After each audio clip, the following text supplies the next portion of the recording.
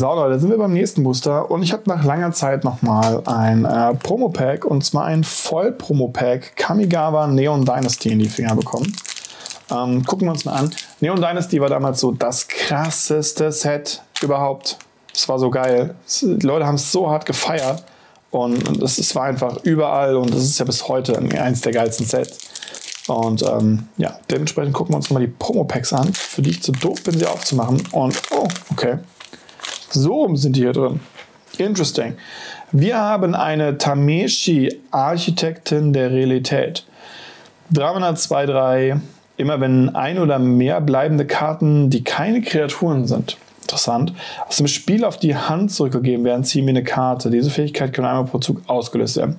Für ein weißes und X bringen wir ein Land, das du kontrollierst, auf die Hand zurück und äh, bringen ein Artefakt, Verzauberung mit Mana-Kosten von X oder weniger zum Friedhof ins Spiel zurück.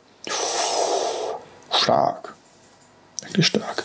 Dann haben wir einen Enthusiasten-Mechanautos. 2 Mana, 2-2 fliegend. Artefakte kosten einmal weniger zu spielen. Cool. Dann haben wir ein uh, Shipwreck Morust.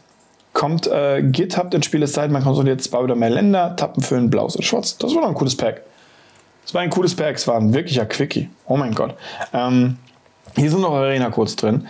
Ähm, das ist gültig bis zum 1. September 2024. Äh, ich wollte es nur mal erwähnt haben. Aber wer den Arena-Code haben will, kann ihn haben. Ja, sehr cool. Ich mochte die Packs damals, aber irgendwie haben wir zu Kamigawa fast nicht gespielt, wodurch ich fast nicht an solche Packs rangekommen bin, an diese Promo-Packs. Und ähm, ja, ich glaube, sie sind heutzutage echt auch ein bisschen rarer gesät, weil eben auch sowas wie Poseju, äh, Originalprint und so weiter hier raus sind. Schon coole Teile. Ich hoffe, ihr hattet trotzdem Spaß. Wir sehen uns beim nächsten Mal. Bis dahin. Einblick seht. Ciao, ciao.